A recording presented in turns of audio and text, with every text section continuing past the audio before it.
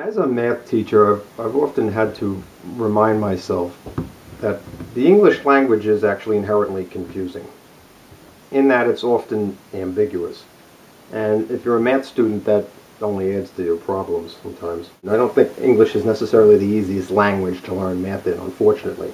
Case in point would be a topic like this, exponents. Now, rather than explicitly tell you uh, what an exponent is, firstly I'd like to just show you what it is. Uh, because again, this is, I'm trying to avoid using certain terms. An exponent is an operation. And an operation, you probably remember, is something like addition, subtraction, multiplication, or division. When you use exponents, you're actually performing a slightly more sophisticated form of multiplication. That's all that it really entails doing. Um, a good example would be something like this, again just to show you. Imagine for a second you had a very large 2 and beside it raised in superscript the number 3. This is an arithmetic expression because it has no letter, it's just simply numbers. And each of the pieces that form the expression actually have particular names. Uh, in actuality, it's this piece, the 3, that is the exponent in question. The number that is written beside it, this larger 2, uh, is referred to as the base. This entire thing, the outcome of this, and remember it's multiplication, so the outcome is going to be a product. The product outcome is actually referred to as the power. Now again, because the English language and its usage is very frequently confusing, very often, and I'm guilty of this myself, uh, people want to use these two uh, words interchangeably when they're referring to the three, but that isn't actually correct. It is better to say that the power is the outcome of this multiplication uh, rather than uh, the individual part, three. Now here's what I mean by ambiguity. Whenever you see something like this, what's called just base 2 exponent 3 for right now.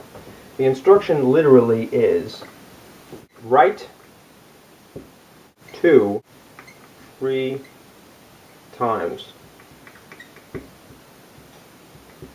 And what people often think instead, because of the ambiguity of those words that are selected, is this.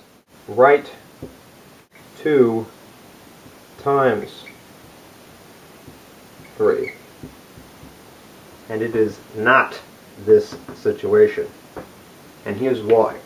If you were to follow the actual instruction of writing 2 three times, that's this. Writing the number 2 thrice, and then actually doing multiplication.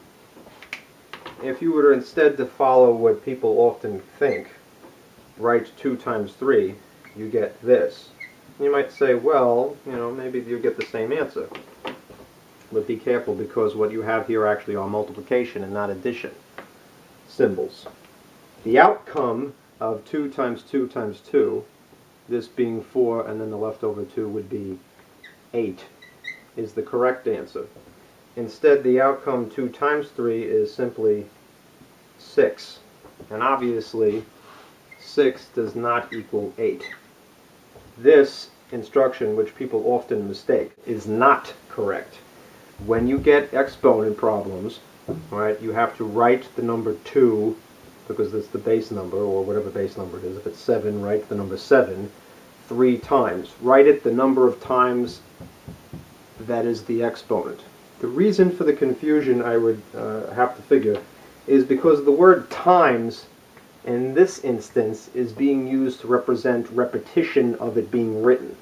In this instance, times is being used to refer to the operation. But exponents uh, are referring instead to this. This is the proper instruction. Write the number, whatever it may be, so many times that is the number that's written here. And then do multiplication after the fact. So obviously you could see that there is some ambiguity there. Again, the word times has two different meanings. Alright, and this is the correct one. For sake of clarity, it might be better to refer to the expression by its parts. And you would read something like this, for example, as base 2 exponent 2. Um, the reason is then there'd be, if you had said it the other way, there would be, you know, two twos. Which is not to be confused with, say, something like this. Even something as simple as a 2 written with a 3 in superscript besides it, you have a lot of alternatives. Right? You could simply just refer to this as uh, base 2 exponent 3, which I think is, although more syllables, more clear. Or what you see is what you get. It's 2 cubed because it has a 3 here. That always refers to cubes. Well, you can go this route. 2 to the third.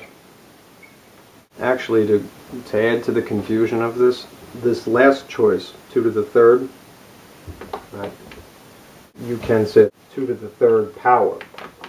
Um, that is legal. Um, but if you were to take it one step further, it actually would end up being 2 to the third power of what? What does it stem from? 2. Right? And in the same sentence you see that there are three twos in addition to there being a third power. It's very annoying. Anyway, um, that's why I say that for right now, especially if you start out learning this, the best thing for everybody's sanity is probably to go with this choice. Alright, if you want to get a little bit fancy, that's cool, you know. As long as you are referring to an exponent of 3, you could say cubed. Alright, and if you have an exponent of 2 up here, then you could say squared. Very often in math, there's more than one way to do something. And as you can plainly see, there's more than one way to say something, even. So, moral of the story?